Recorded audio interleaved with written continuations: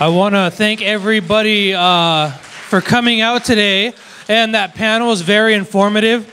Uh, so thank you, and uh, hopefully we uh, we change some more minds. Um, so these things are really uh, hard to put together. Uh, I don't know if you guys have put together events. Uh, I spent eight years putting together certain events, and you always worry about how the turnout's going to be and the logistics of things. And from everything from you know the audio and visual to deciding on what flavor of cream cheese you want to bring. And, and this takes a team effort, and I want to just bring up and recognize the team that put this event together. An impressive group of people with really good intentions. So, everybody, give them a round of applause.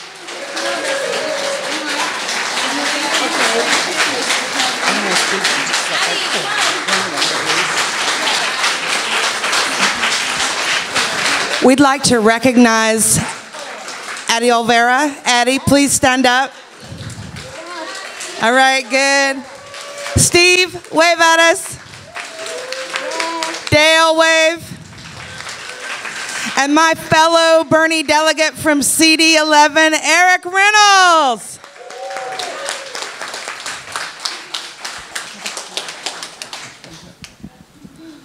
Okay. No, no, no. All right, folks, thanks so much. And listen, let's thank Bob again and Manny for being our great MCs. There, there's no better way to thank these people than going to nvrtf.org and donating to the cause. Because it's going to take a team effort to get change done. And without this, we wouldn't have had that panel and we wouldn't have got the information to the assembly person. And we can change minds as long as we put boots on the ground and people in seats to hear this kind of, you know, message. And sign up to volunteer. Get your teenagers to come and join too. I mean, I, I just want to thank everybody that's here because um, after last year and seeing this movement just, you know, working, it's just, just tremendous. And uh, so thanks to everybody that's here. And um, I think this should be everybody's rule. Uh, most inspiring thing that happened to me was when my granddaughter this past election was a poll worker, a volunteer. And our county actually went to the schools and, you know, put out the word to seniors. They'd get credit and get paid like any other poll volunteer. And um, that should be a normal course of uh, education, part of a high school graduation, and not just doing it once, participating in the counting and every other bit. If every citizen had to do that, you know, would or would do it, you know, take back the vote means sometimes having given it away, now you're taking it back. And Allison deserves all kinds of praise for the hard work of figuring out, like he mentioned, um, what, how much cream cheese to get and everything. Just all uh, power to you, dear. I just want to thank you guys. Have been really kind, and yeah, it was a lot of work, but I'm happy to do it, and I'm happy to do it again. And I appreciate you all being here and supporting us. Thanks. Say something. Is this a talking stick? Uh, I just want to thank you all for all your help and cooperation. This was a, a real group effort, and uh, we worked together in spite of occasional little glitches, but uh, we, we cooperated, and I think this is a great job, and I am so pleased that Assemblymember Quirk came and that we may be able to shift things, work with him. Maybe he might even withdraw this. We'll see. We'll hope for the best. And folks, um, in any movement, you have to have a mentor. you have to have a Yoda. You have to have a brainiac who can bring all of the best minds, disciplined minds together to sit at the table and hash out a vision forward. Here in California, we have a vision that we're going to change 58 county chaos into standard operating procedure that every voter in the state of California can depend on and can, can depend that their vote will be counted as cast. Folks, please give it up for our mentor of the election integrity movement, Mr. Jim Soper. Thank you, Luci.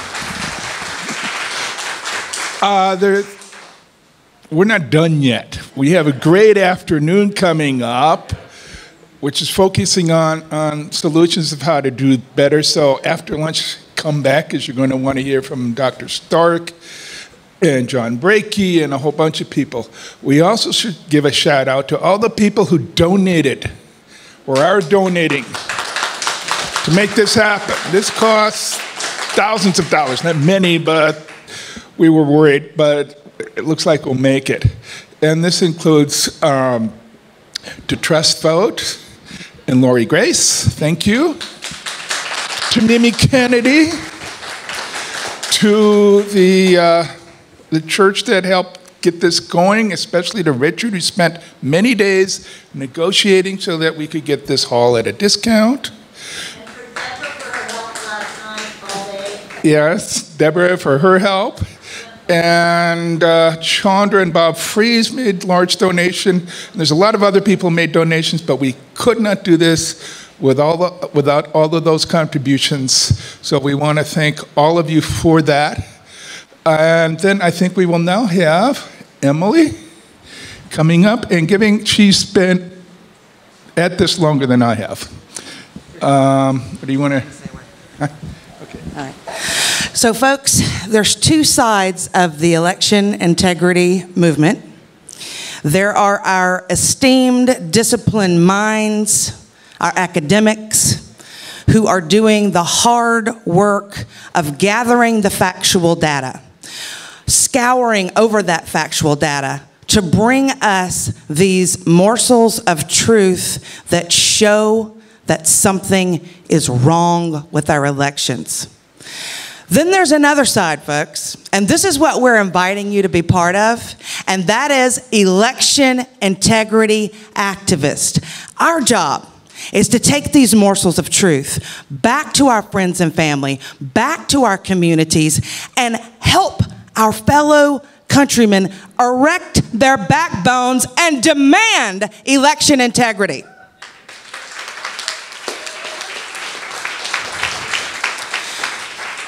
Folks, it is with great, great honor for me to again introduce Emily Levy, who has been at this election integrity activism for a long time, folks. And I am so happy that we are finally seeing the fruits of her labor come forth. Thank you so much, Emily. Thank you. That was way more credit than I, I would I would give myself. But um, what I want to speak about, and I only have about five minutes, but what I want to speak to you about is if you're not a statistician or a computer geek or a legislator or um, a security expert, how can you get involved? And I want to use myself as a little story here.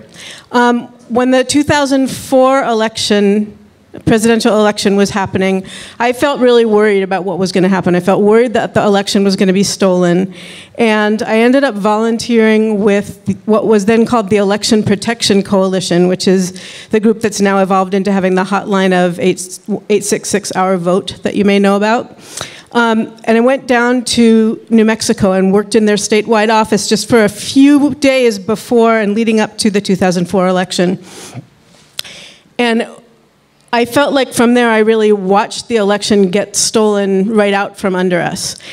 And I came back and I said, I need to do something about this and I have no idea what to do. Have any of you ever felt that way? Really? Only four or five of you? Seriously? Tell me the truth. Thank you. Okay. And a little while later, a friend of mine called me up and she said, I just heard this guy on the radio. He he's some kind of statistician and he's doing a precinct by precinct analysis of what happened in Ohio in the presidential election vote. Maybe he needs some help. He gave his phone number. Why don't you call him up?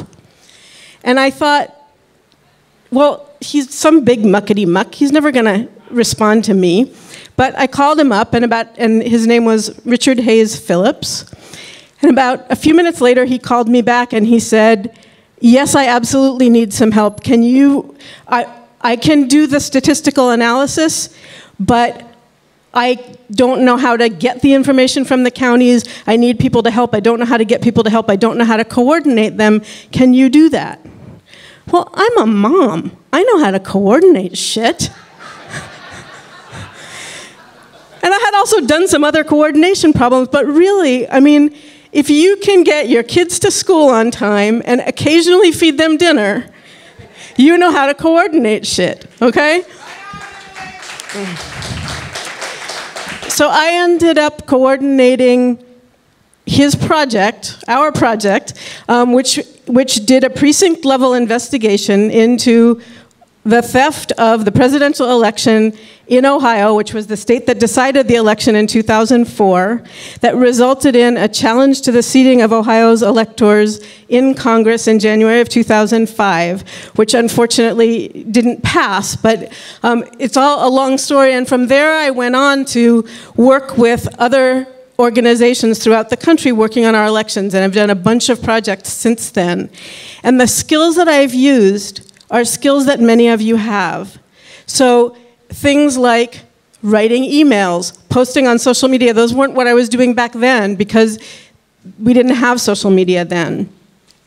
Talking to people, educating people. I remember, you know, this seems really complicated, but I remember in the 2006 elections, my now young adult daughter was in third grade, and we were on the way to school one morning, and she said to me, Who do you think is going to win? And I said, Well, we aren't really going to know who wins because the computers are counting the votes. And she said, unless we have exit polls.